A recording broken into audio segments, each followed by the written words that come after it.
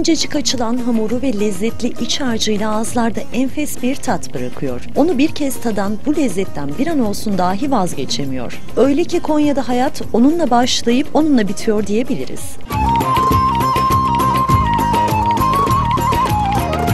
Enfes tadı ve kokusuyla adeta ağızları sulandıran ve Konyalıların vazgeçilmez lezzetleri arasında yer alan etli ekmeğe yeni kriterler getiriliyor.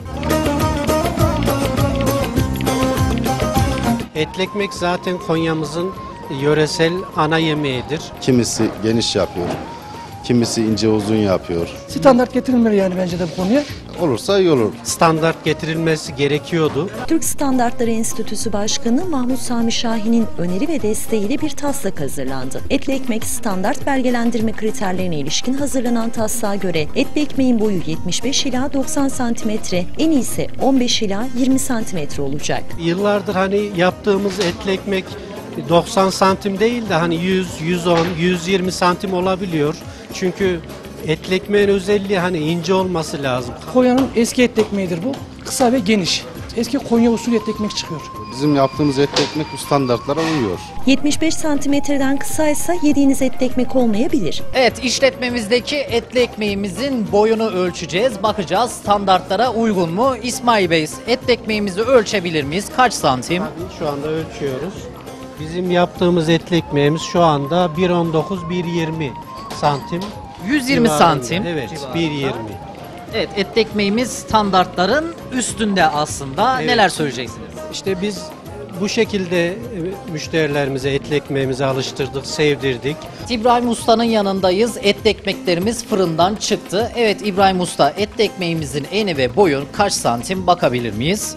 105 santim uzunluğu, Enine kadar? eni de 12 santim.